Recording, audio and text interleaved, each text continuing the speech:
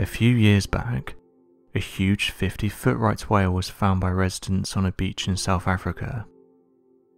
The impressive animal had been floating in the ocean before making its way to land, but when people found it, they noticed some strange bite marks.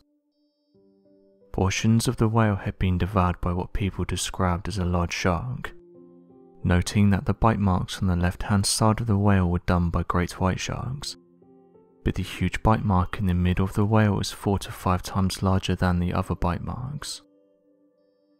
Officials went on to say that they weren't sure why this whale passed away, but said that the obvious bite marks show that it must have been floating in the ocean for a while before it ended up on the beach. Due to seeing this large bite mark, it wasn't long before people started to share their own ideas for what caused this. Scientists and marine biologists have said for many years now that Megalodon went extinct, citing various reasons for why this happened, including their prey moving to colder waters, geological changes and the introduction of smaller sharks that were able to pick off animals that did stay. Researchers have said that Megalodon wouldn't be able to survive in this current climate, but that hasn't stopped people from suggesting that Megalodon still exists somewhere with one idea being that it's made its way and adapted to deeper waters. Those who believe that the shark still exists points out that it could be responsible for the large bite marks, saying that it matches current theories for how big the shark was, going on to say that if it was still alive something like a right whale would definitely be something it preyed on. Interestingly, fishermen for years now have been coming forward with some interesting stories, noting that on a few occasions they've encountered large sharks exceeding 30 feet, and it could be due to these stories that the rumour of the megalodon exists.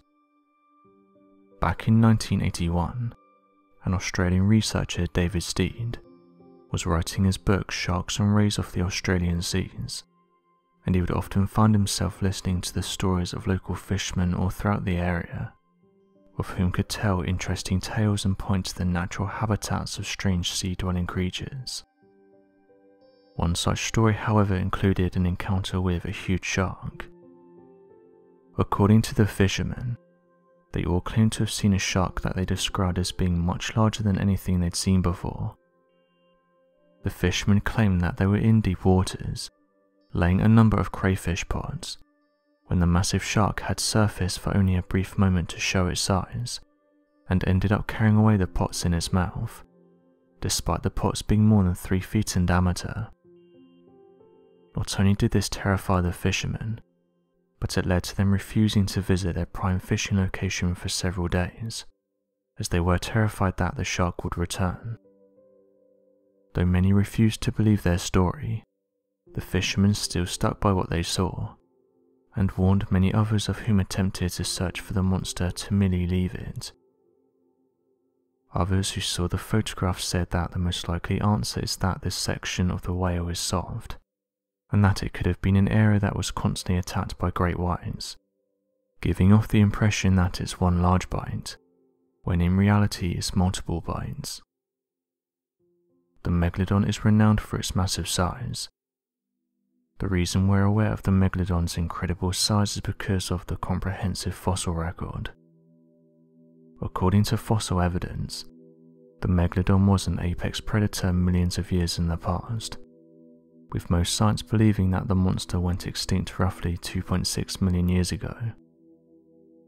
Interestingly, in the last six months, researchers have come forward and said that we actually underestimated megalodon's size and that it was originally thought to measure around 50 feet, but new studies have revealed that it was likely closer to 65 feet. A new study has a different idea on the monster's mysterious demise. In a paper published, scientists proposed that the extinction date could extend another million years.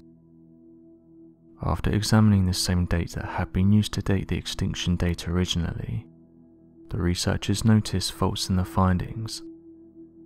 For instance, the fossils had imprecise dates, older dating methods, or had simply just been misidentified.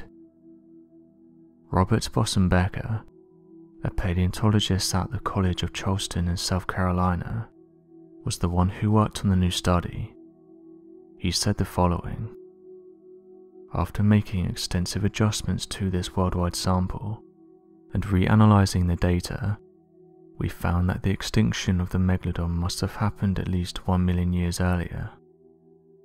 Surprisingly, the decline of the megalodon seems to happen at the exact same time the great white shark species began to thrive. According to a write up in the National Geographic, scientists had believed that the megalodon's extinction was associated with some sort of extinction event at the end of the Pleistocene period.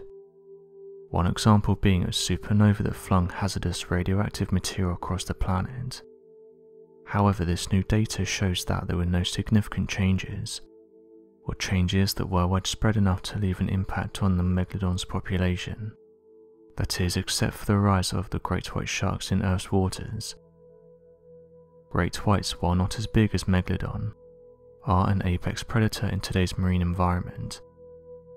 Despite their smaller size, great whites may have been able to tackle younger megalodons or those in adolescence.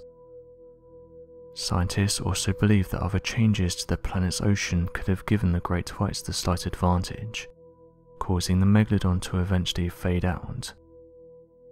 Megalodons primarily ate small whales, but ever decreasing populations meant fewer sources of food.